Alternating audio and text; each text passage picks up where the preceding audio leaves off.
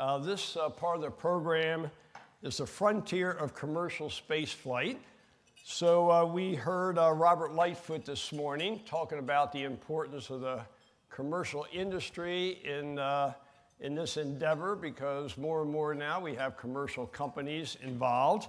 We also heard that uh, from the program manager the ISS talking about how they rely on the commercial sector. So this is now a very, very important part of our program.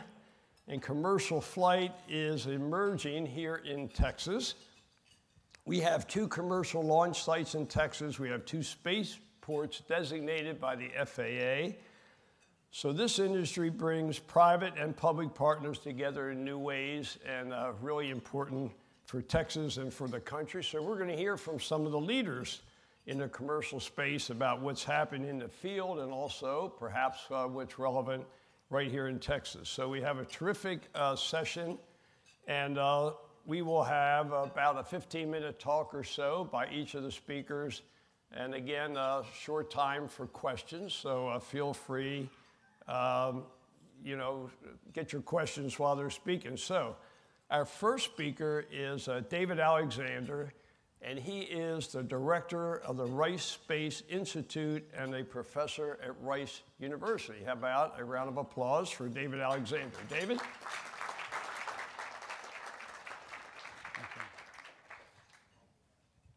So uh, thank you. It's a great pleasure to be here. And I'd like to thank Bonnie for inviting me. Um, uh, of, of, the panelists, I'm the only one who's not actually working in commercial space. I just talk about it. So um, what, you're, what, you're, going to hear after this talk is some of the details and some of the people from some of the people at the frontier of this kind of transition in the space industry.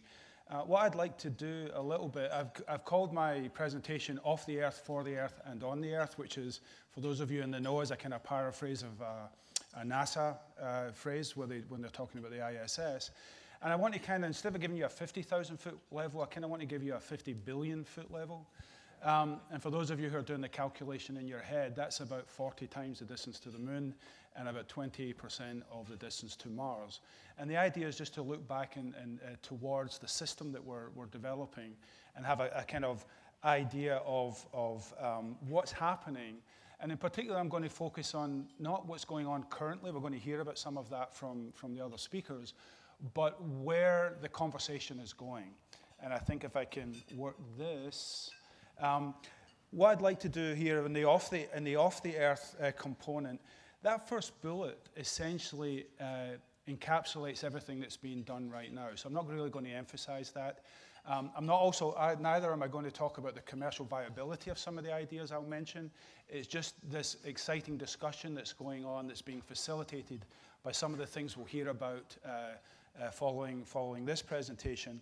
Um, but the in-space infrastructure and space commerce is a sort of where we are just now. Almost everything in space, with the space station, the stuff we heard about today, the technology that's being developed, the commercial applications of those technologies, the transportation technologies, which is uh, the kind of commercial crew, commercial cargo, uh, and beyond. That's all sort of encapsulated in that one, in one bullet. But in, in 15 minutes, it's very hard to go into all of that.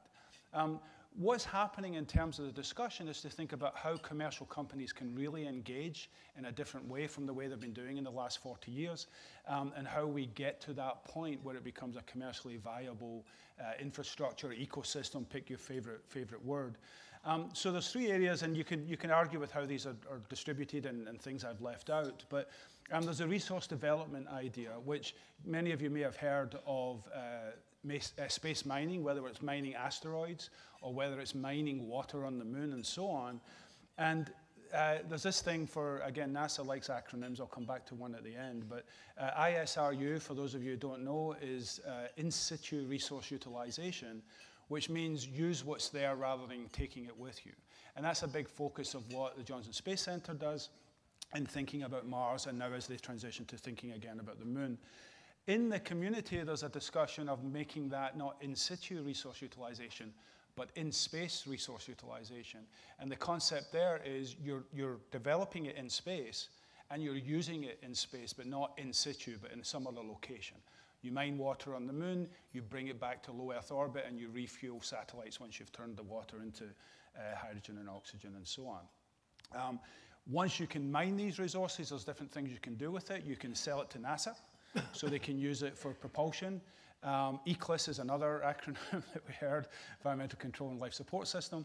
Um, and so you can start to use these products uh, in space. And so this is all off the Earth. Uh, in terms of mining raw materials, there are people working on developing concrete using Martian regolith, regolith and lunar regolith. And so maybe you develop landing pads um, in situ, so you don't have to take that mass up with you. And then, of course, the big push on the asteroid, the mining asteroid side of things, apart from water, is looking at rare metals and bringing them back to the earth and, and using every cell phone in the room has a little bit of uh, some, rare some rare earth metal uh, in it.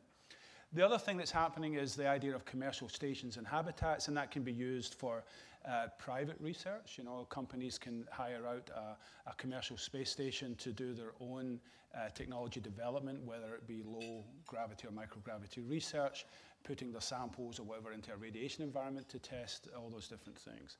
And then, of course, you can use these commercial stations and habitats to prepare for Mars, whether it's a commercial trip to Mars or whether it's a government trip to Mars, uh, like a NASA, a NASA mission or so on.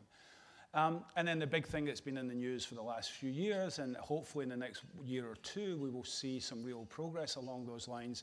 The, the rocketry and, and the, the capsules and so on have been uh, making great progress, but we haven't actually seen the launch of a space tourist other than the mega rich $20 million go, go spend some time on Mir or the space station kind of approach. So that's all kind of changing how we think about space and commercial space. And then there's what I call the three R's. And so there's the in space maintenance. So again, we're still off Earth. And that includes uh, refuel, repair, and remove. So if you develop these resources from the moon, you can refuel a satellite um, using its fuel for station keeping so it can have a longer lifetime, which of course saves the commercial companies money for replacement and so on. Perhaps you can develop the technologies to repair these satellites and so you can keep their lifetime longer as well and get more use out of them and therefore get you know, better return on investment. And then one of the issues that constantly comes up, particularly as we think about the number of CubeSats that we're expecting to, to uh, launch in the next few years, is removing uh, defunct satellites or pieces of satellites that have come, come adrift. And so there's this discussion about mitigating the space debris problem. Um, the, one graphic, and there's many different versions of this. This is something that um, I've kind of stolen from the uh, United Launch Alliance website, but there's this discussion in, with a number of us in the community talking about what they call the cislunar infrastructure, cislunar marketplace is ULA's name for it. And I, I don't really have time to dwell on all of this, but the idea is that there's a commercial infrastructure that gets you low Earth orbit, lunar orbit, and the space in between, whether you have space tugs constantly ferrying material back and forward from these orbits. You develop um, the training and the technology at the moon to help train future astronauts to go to Mars and so on. You develop the habitat technology, all those different things. The idea is to put it into a kind of commercial framework involving you know, the companies that we're going to hear from later in terms of uh, you know, the transportation and the, and the ability to get material there and to bring it back and on so on and so forth. So there's a lot of things that you can read up of. Everybody knows how to use Google, and so we can do that. From the point of view of for the Earth, there's a couple of things I just wanted to, to mention. Some of these were mentioned this morning. Um, there's the idea that, uh, you know, I've said commercial research stations, but in, in principle, the two bullets, the two main bullets here, uh, the first one is sort of in-space development of products that can be brought back to the Earth. And the second bullet is essentially in-space resources that can be used, while they're in space, can be used on the Earth. So in one sense, you could do uh, refined drug development, um, pure drug development in a microgravity environment. We heard about the ZBLAN optical fibers that Made in Space are testing. So those would be space-based manufactured technologies that would be used uh, predominantly on the ground, and so there'd be a market there for that. Um, there's resource development that we may be, we may need these rare earths, or we may even need, at some point, we may need fresh water on the Earth. And so you can think about those technologies bringing things back for the Earth. And then there's ideas about energy generation. You know, you just you, you put these large solar panels in space, generate en free energy from the sun, and microwave it back to power, uh, you know, cities or whatever on the Earth. As long as you don't miss your target, you ought to be okay there. Um, on the other side, there's the Earth remote sensing, and this is a big growth area. This chart, um, I don't know if this is a pointer. This chart I'm showing here is a little bit out of date, but the trend is still the same, and that is, and you probably can't read it from where you are, but the bottom line is, if you, everybody thinks space is expensive and, and the kind of money that goes into developing rockets and satellites and then the ground systems to support that, but if you actually look at where the market and where the money is, most of it is in what happens downstream, to use a Houston energy term and that is that, that most of the money is in the application of these services that all this infrastructure provides. And so one, in the science sense, it's earth remote sensing. And how do you use that earth remote sensing uh, for powering industry? And, and we all know, we all, most of us probably got here using GPS, that's a very obvious one. But there's a whole range of things that can be done. And this kind of comes into the category of what I call Space Plus. And so you can think about space plus agriculture, you can monitor uh, moisture content in the soil, you can plan your rotation of crops, you can control your harvesters remotely and all these different things. But it all filters into many, many different uh, industries here on the Earth that can capitalize on the great resources that we have already in space and the resources to come, whether it be high resolution imaging, whether it be hyperspectral imaging, whether it's LIDAR or radar, uh, GPS, um, timing signatures, all those different things kind of come into this. And this is where the conversation is going on the application side. And, and what I find exciting about this is that almost anybody can become a space person. Some kid in college who has a great idea for an app, you know, how many cars are in the supermarket or how many people are going to Glastonbury or something, they can actually start utilizing space data without having the expertise and the finances to fly a space mission and understand that data. So all that sort of coming together in the Space Plus type picture.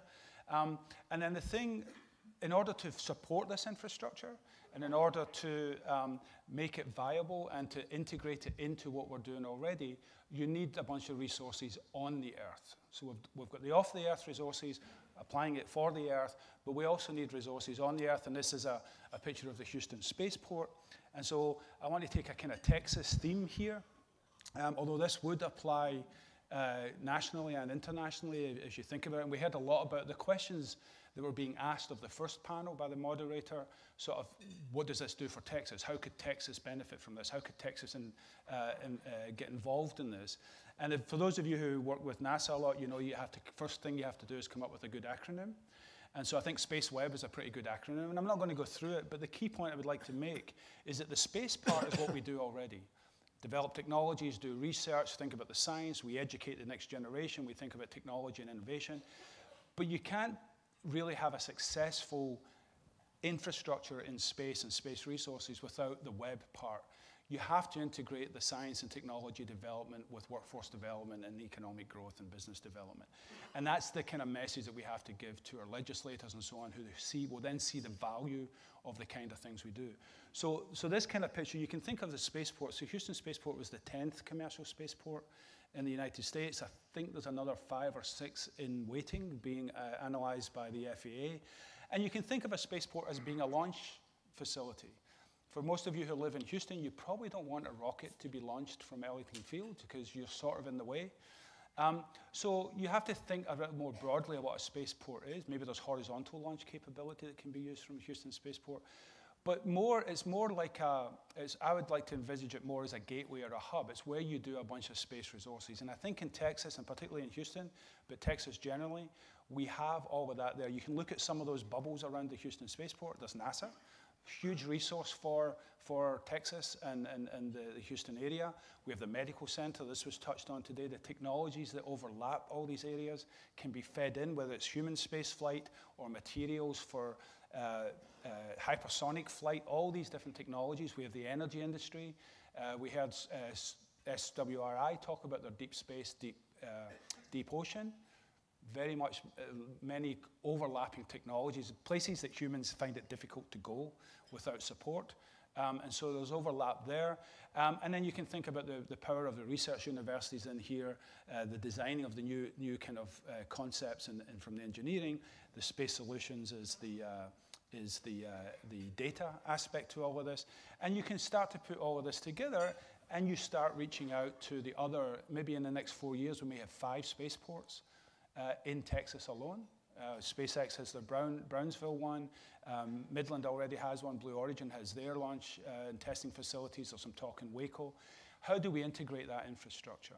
And then we can reach out to the other spaceports. We recently created the Global Spaceport Alliance, where we bring the leaders of the commercial spaceports in the United States together, as, long, as well as some international uh, uh, participants as well. And in fact, Arturo Machuca, who runs the Houston Spaceport, and I are heading out to the UK in a couple of weeks to talk about their spaceport development as the, the UK Space Agency is pushing that. So I think that's where we can go. And what we really need to do is just bring those pieces together.